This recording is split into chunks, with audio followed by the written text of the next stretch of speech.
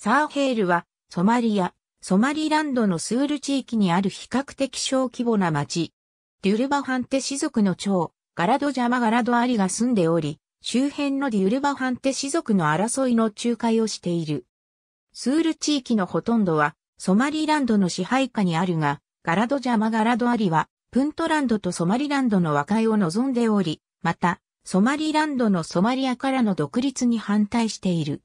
サーヘールも2021年時点では、プントランド、ソマリランドに属せず、中立を保っている。サーヘール GC ドマイホルファディブーフォードレラスアノド、バリカド関連地図。GC イコールグンブルカカガーレサーヘールは、エチオピアとの国境に位置し、ラスアノドの真南、サハダー渓谷にある。サーヘールは、エチオピアとの国境付近にあり、このすぐ南東のグンブルカカガーレでは、20世紀初めにイギリスに反旗を翻したサイード・ムハンマド派の軍とイギリス連合軍との戦闘が行われている。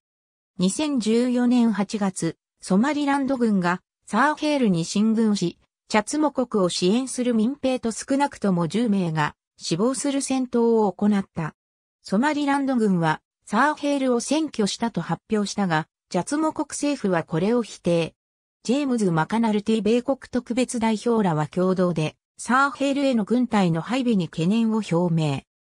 2015年6月、ジャツモ国大統領のアリカリフ・ガライドは、ブーホードレからサーヘルに住所を移していたが、町の郊外にソマリランド軍が近づき、住民からの反発もあったため、8月には住所をバリカドに移した。2018年10月、スール州のドゥマイで地元氏族同士の戦闘が発生。